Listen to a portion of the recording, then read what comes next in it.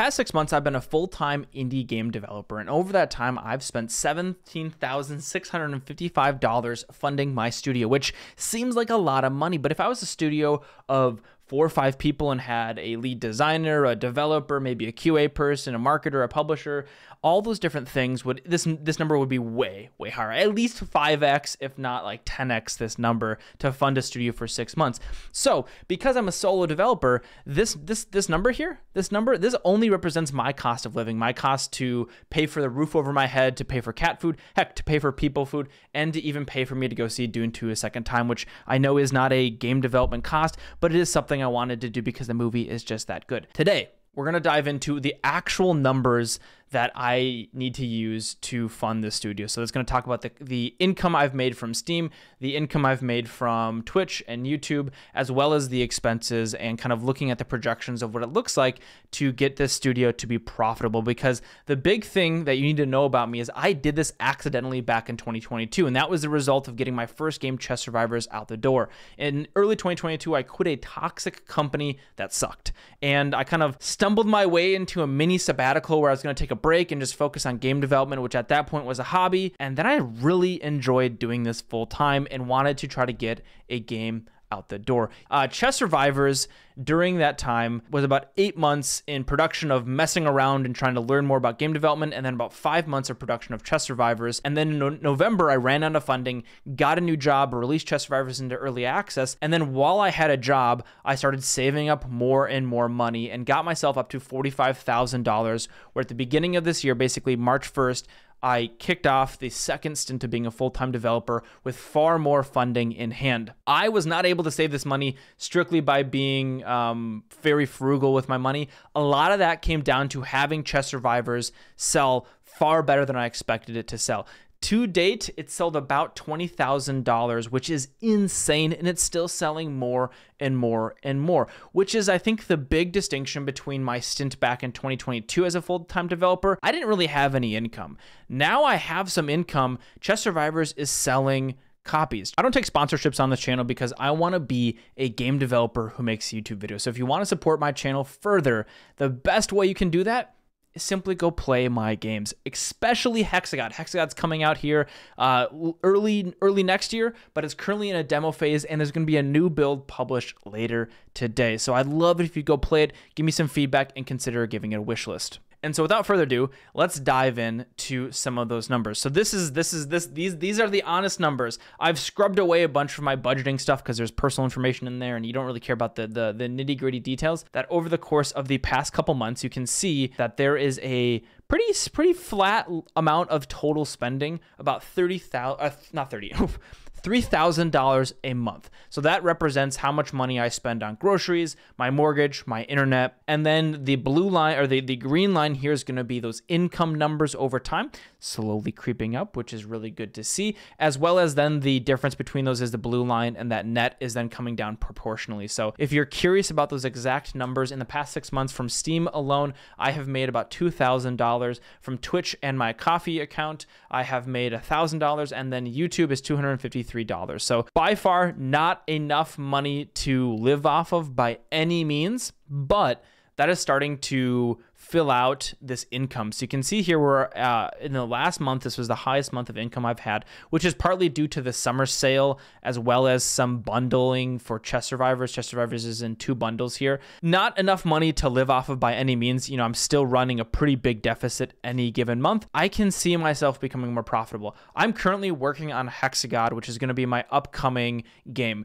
Uh, I'm slated right now to be in the February Next Fest, which means we have about six months to I say we because I mean you, me, my Twitch chat. Basically, I have six months to get this game in a really good demo state and then releasing sometime early next year, which will be very, very exciting. And that'll add in another line item into Steam. So I say time and time again in this channel that I want to be a game developer who makes YouTube videos.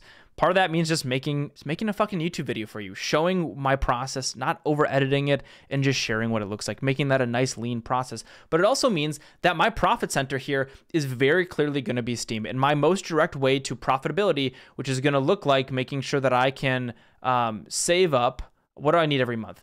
Uh, I need every year, I need to make about $36,000 to break even. And that is the conservative estimate for me as a uh, for me to to live on this world. You can see over here I have a more broken out estimate of how much it's going to cost me every month to live. And all of these numbers are rounded up. When I'm doing projections like this, if I'm putting my mortgage, I'm not putting the exact amount of mortgage I'm spending. I'm I'm ramping it up a bit. My flexible spending, which is how much I spend on eating out, how much I spend on uh, coffee, or how much I spend on groceries, or if I'm going to go golfing or see Dune 2, Dune 2 for a third time. It's not in theaters anymore, but the fun thing is Interstellar is coming back to IMAX this fall, so maybe I'll go see that a few times. Uh, anyways, anyways, back uh, moving away from IMAX movies again. Um, all these numbers are rounded up, and that just helps give you uh, basically if you mess up one of these numbers, you're not gonna undercut yourself. If anything, you you want to over overestimate how much your costs are gonna be and underestimate your revenue, so that you can see my monthly cost here is about two.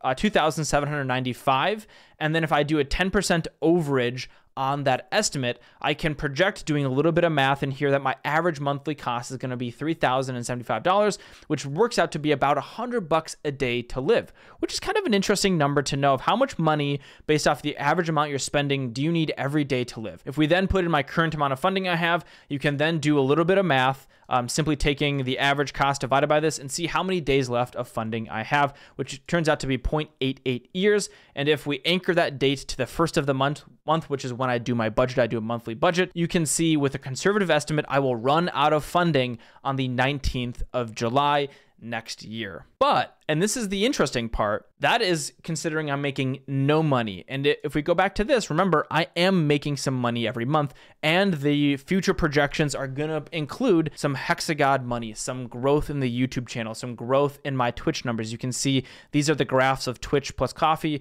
and YouTube. You can see things are growing upward. And if we keep going down the projections, then if I look at the last three months of how much money I've kind of net, so net would be how much money I spent versus how much money I make, my average, my average per month month is going to be uh, one one thousand eight hundred and seventy five bucks. So if I put that then in this average column, and this is going to be much more of like a, a realistic look at how much money I can spend based off of how much money I'm taking in and how how long that longevity goes.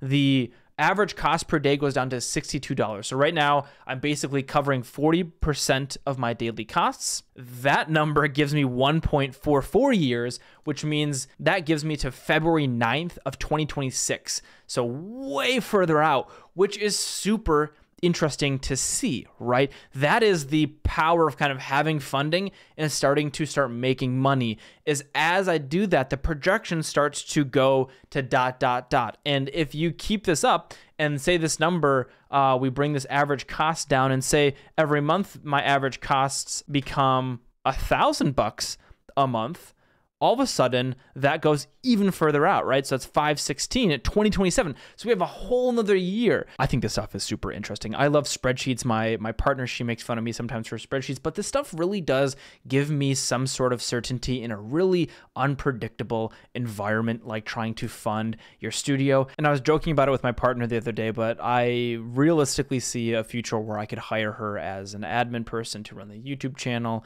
or to help with marketing and use some of her experience experiences to help me grow the studio even larger. And heck, maybe someday I'll be hiring one of you to join the team. Don't leave your resumes below or anything like that. That's just a pipe dream.